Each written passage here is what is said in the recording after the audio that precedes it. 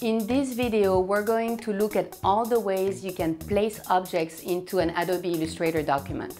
So let's check it out on the computer.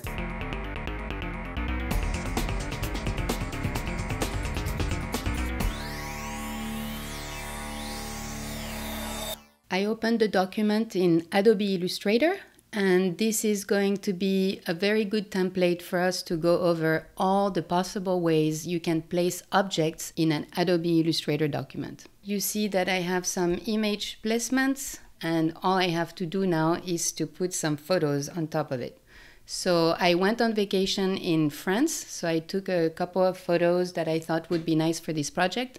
So we are going to place our first photo in this area. So the first way to place a project is to go to File and Place. And as you can see at the bottom here, it has, first of all, you can choose what you want to see. All documents, just PDFs, just JPEG. You can choose what kind of documents you can see available for your placement. Now, all readable documents, choose the document you want to upload and then you see at the bottom it's link template or show import options. If you want the image to link you click on link and what that does is it does not bring the actual image into your document. It's better if you want to keep the document size small, but it's actually a problem if you want to move your document into different folders or share it with someone because it will not have the document. Okay, so instead we're not going to click on link and we're going to go place. Now, I can either click it and it will make it 100%. I'm going to press Command or Control Z to undo. And I'm going to place it again, pick the image again. And this time, instead of just clicking on, I'm going to draw a rectangle. And that will resize the image to fit that specific rectangle. So let's say I want the image over here. In order to keep the sizes, I need to press Shift as I move it. If you go to Windows, and links. I'm going to move this over here. It shows you the information on all the images that you placed on your graphic. So you see the logo here, Katia's Buzz, is a link. So if I wanted to change that, I can come here, relink from the library because it's currently in my library, or relink, or go to link, or update the link, or edit the original. Now this one has been brought in, so it is not linked. It is actually part of the document. But if I wanted, I could still relink it or go to the link. Let's do that. It goes to the link in the document. Now I'm going to go File, Place. I'm going to pick this graphic, but now I'm going to click on Link here and we'll see what that does. Place, and I'm going to make a rectangle. Now here you see it in the links panel that it shows the link. So if I were to click on edit in Photoshop, you see how it just opened Photoshop. Now let's say I go to Photoshop and I do an adjustment. So let's say I change some of the information on the graphic just real quick.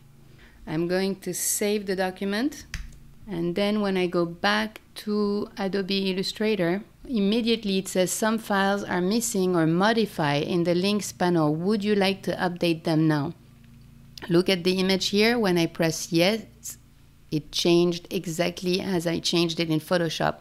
So they're actually working together. Whatever modifications I make outside, to that image will be brought into your file. When you update your images into Photoshop, it automatically changes everything in Illustrator when you save them. So that's really cool and that's good to know. So let's say we want to move that graphic over here. So now you know how to place an image as a link and directly into the document. Just remember that if you place a document into your Adobe Illustration, but you're only linking it, and let's say you send it to a printer, it will not have that photo attached to the document.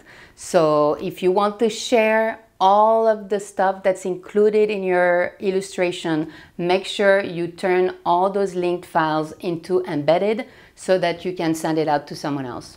Now, you see how it doesn't really match my template. That's not really what I want for this. There is actually a better way to do that. So let's say we want an image that fits perfectly in the rectangle I've already created in the template. I select the rectangle I want. There are ways to place. You can place normal, which is what we were using before. You can place behind if you wanted to use a background and you can draw inside or place inside and that's the perfect option for this template. So we're going to click on that. You see it creates little dashes around the graphic. And now I'm going to go file place and we're going to choose this photo of the Eiffel Tower in Paris. And I'm going to remove the link. I want the photo to come into my document and place and now I'm going to go here. You see how it's larger than the rectangle? Poof I let it go. And you see that it's actually being masked by that rectangle. It's just inside the rectangle. Now I'm going to move it up and you see that it stays within the rectangle. Now I can resize it click shift and resize it the way I want. Now I'm going to click outside of it and double click. And now you see that if I pick the image, it moves it as part of one thing. Command Z to place it back where it belonged. If I were to want to change that graphic, the only thing you need to do is double click on the image and now you have access to the graphic. You see, it goes into the layers isolated mode and you have your rectangle on top and your image in the back. And now you're able to again modify the image the way you want it. Okay, so now we have these graphics and they are not matching the rectangles as you can see. So the other way to do that is, let's see, I'm going to move this rectangle and this rectangle above the images I'm going to pick the image and the rectangle, right click the mouse and click on make clipping mask. And it does exactly the same thing as you would if you had placed it inside the object. So we're going to choose those two documents also. Now, if you want to see what you're doing, you just click on the rectangle. Instead of having the fill as gray, you can make it the surrounding and usually instead of gray you can pick a color that's easily noticeable. You can stroke larger so you see what you're cutting. And now you pick both of them right click make clipping mask. And again it has been placed exactly in the template you wanted. One more thing, we are going to change the background of the bottom footer. And you see this rectangle here has a fill that is actually a pattern. So you can change patterns. You have a lot of patterns available in your library. If you go here, library patterns, you have decorative, nature, nature, animal skins. And this is how you can change the background with patterns. Very chic. You come here, patterns, decorative, Let's see what Vonster patterns are. Hmm. If you want, you can come here and say large list view or large thumbnail view. This way you have all of them here.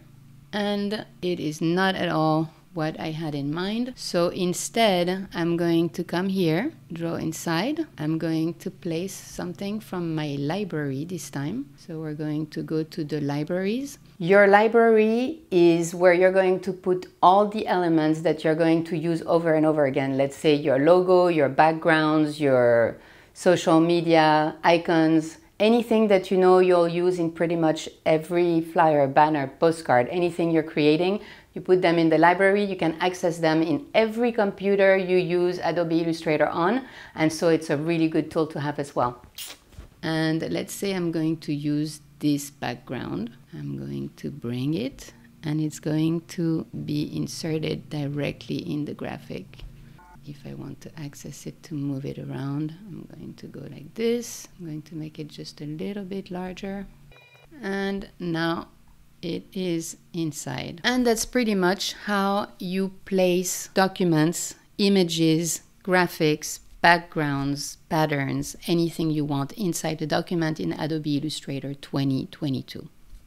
Welcome back to Katia's Buzz. Make sure you press like and subscribe to this channel. I'm putting together a tutorial from A to Z to go over everything Adobe Illustrator has to offer. Adobe Illustrator is an awesome platform. I use it every single day. We're going to go through everything it offers in 2022. You're going to learn all the tools, all the panels, all the tricks, all the nicks, everything you can find out. We're going to go through it from A to Z. If you haven't seen the previous lessons, I invite you to go check them out. There is one about pretty much anything Illustrator has to offer for beginners, so you get an idea of how you create shapes and things of that nature. And the second one is the artboard, so you know where things are, how you can modify the artboard, and a couple of other tricks. Thank you for checking out Katia's Buzz. I hope you learned a thing or two in this video. Press like subscribe and leave me a comment below to let me know if this video was helpful and if there's anything else you would like me to cover in Adobe Illustrator in 2022. Have a beautiful rest of the day. It was a pleasure.